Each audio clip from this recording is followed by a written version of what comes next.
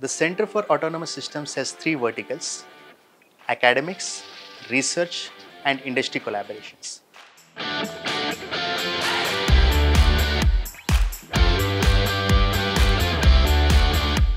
We focus towards training and uh, educating all disciplinary students across GITAM and making sure they are collaborating with uh, different companies in order to give them an experience of hands-on technology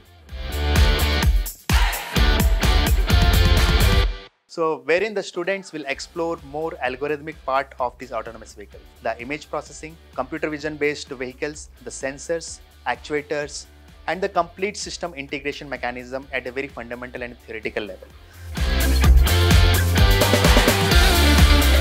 We try to incorporate a world wherein autonomous systems are uh, used in our day-to-day life.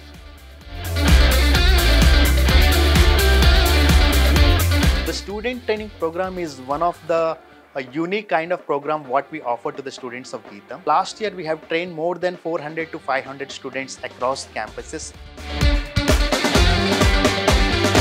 I've learned a lot from CAS like Arduino coding, communicate through radio frequencies, how to make a robot follow a line. We've built a lot of projects regarding um, underwater vehicles or even on ground. Having the close collaborations with Indian Navy and we have recently signed an MOU for the smart campus. We have developed underwater vehicle which has the capability to detect the flora and fauna. And we have also developed quad rotors and hexa rotors which has the capability of autonomous navigation, surveillance and mapping.